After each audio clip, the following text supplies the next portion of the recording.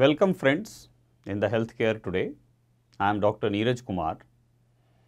Today we will discuss about the impact of winters on heart health. Many friends have asked questions regarding that as the winters are around. It is usually seen that during winters the heart problems increase. Many people who have high BP, their BP shoots up. Many people who have a problem of heart failure or low heart function, their heart failure worsens or they become more symptomatic. People who have rhythm disorders of the heart, they get precipitations of uh, their arrhythmia problems more often. The people who have angina, who get chest pain on walking, that also gets precipitated earlier with lesser exertion. And why all this happen? This happens because during winters, the blood vessels of our body, particularly in the skin and superficial tissues, they become constricted because of cold. Because of they become, uh, when they constrict, the overall workload of the heart increases. It has to work harder to meet the requirement of the vital functions. At the same time, it has to work harder to keep the body warm. So, it has to work double.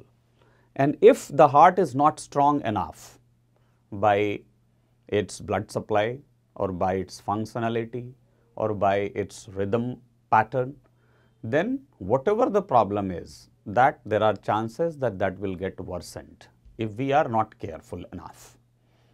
So, how to be careful? The winter, the variation of the temperature takes more at all.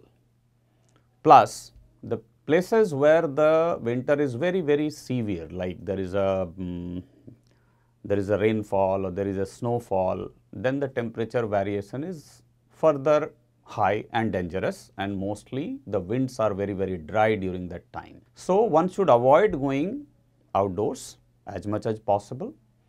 If you have to work outside, try to keep yourself warm by wearing warm clothing, by wearing a cap, by wearing a something around your neck that, that works very well and try to go inside as often as possible to normalize your body temperature. Second thing is one should not like people who exercise, one should not exert too much in too low temperature because the heart has to work far more in a colder atmosphere than a relatively more warm comfortable atmosphere. You should drink warm fluids, warm take warm liquids and you should as far as possible wear layered clothings. Instead of taking one thick cloth, you should take one, two, three, four layered clothes. In between the air becomes warmer and that puts makes a layer around you which is warm and you feel better. We should also know that who are the people who can suffer more during these winters. One I said the people who have high BP and it is not well controlled they will have spikes of high BP, the BP will start fluctuating. Second, the people who have low heart function that is termed as congestive heart failure or uh, LV dysfunction, they tend to worsen, they tend to accumulate fluid. Third, the people who have angina or they have blockages in their heart's arteries. Fourth, the people who have mm, many risk factors during winters, the chances of precipitation of heart attack is also high.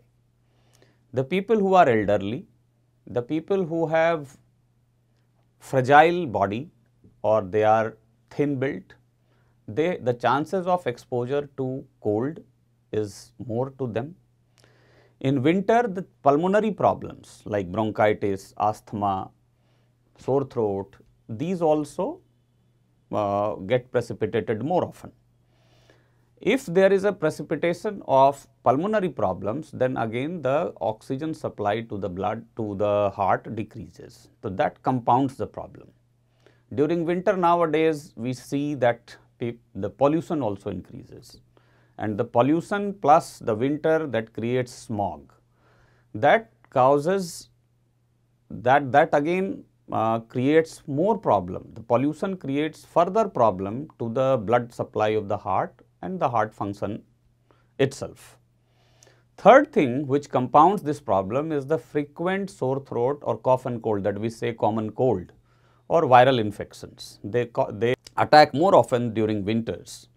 And if we combine the winter plus the pollution plus the viral infection, then there is an inflammatory response in the body. The PM 2.5 that gets deposited in the endocardial tissue of the vessels and the heart and that hampers the vasomotion and that again is a cause of high BP.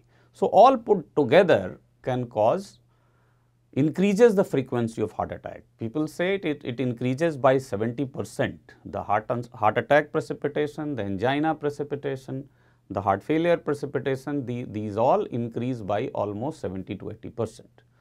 So, here we are before facing strong winter, we know that how to protect ourselves and what are the problems that can happen if you wish to exercise during winters, before that you must check your heart health, you must check your BP and optimize your treatment in consultation with your doctor so that the winter is pleasant and it does not cause a problem to you and your family members.